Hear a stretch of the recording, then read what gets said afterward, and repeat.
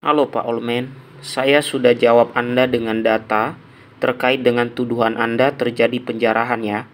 Silakan Anda berikan data kepada saya yang membantah Decretum Gelasianum yang dikeluarkan oleh Paus Gelasius yang memerintahkan kepada beberapa imam untuk membuat daftar list dokumen-dokumen kuno dan kemudian dikumpulkan dan kemudian terkumpul dan disatukan sehingga disimpan di Vatikan.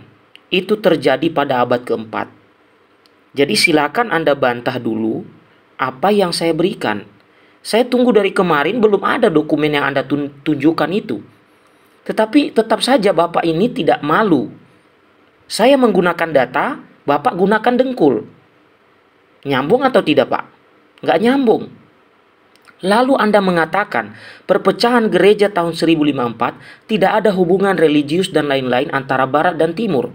Sekarang pertanyaan saya, terus Konstantinopel dan Ortodoks yang Anda imani itu Berarti hubungan imannya kepada penganut yang Anda berlindung di bawah ketiaknya, yaitu berlindung di bawah ketiak orang yang menggunakan sorban, yang menaklukkan Konstantinopel.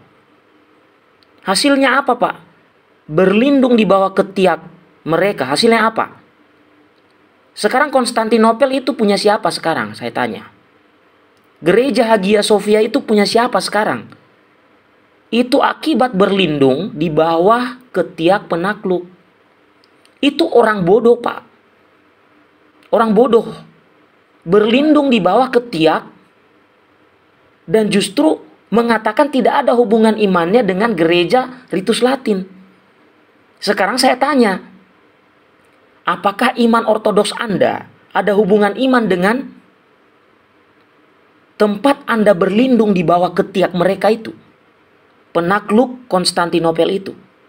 Coba Anda tunjukkan pada saya sejarahnya. Sejak kapan ada hubungan imanmu dengan penakluk Konstantinopel? Atau jangan-jangan Bapak setuju ya?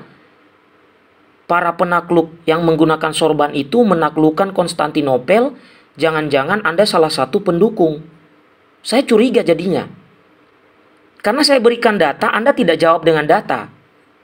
Ya. Justru Anda jawab dengan curhat. Nah sekarang tunjukkan pada saya di mana di mana hubungan religius kalian dengan penganut penakluk Konstantinopel ketika kalian mengatakan lebih baik berlindung di bawah sorban. Berlindung di bawah ketiak. Hasilnya apa? Dikuasai itu Konstantinopel.